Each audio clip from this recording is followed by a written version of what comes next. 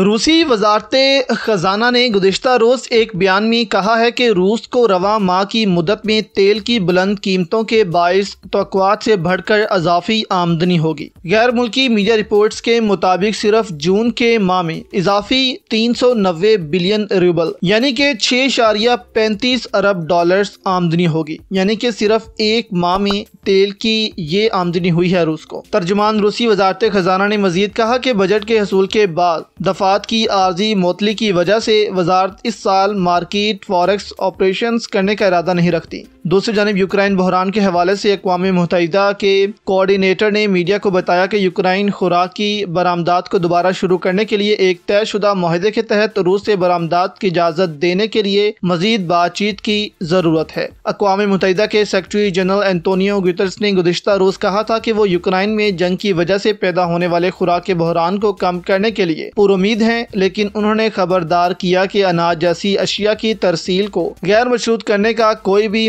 माहिदा कबल अज वक्त होगा।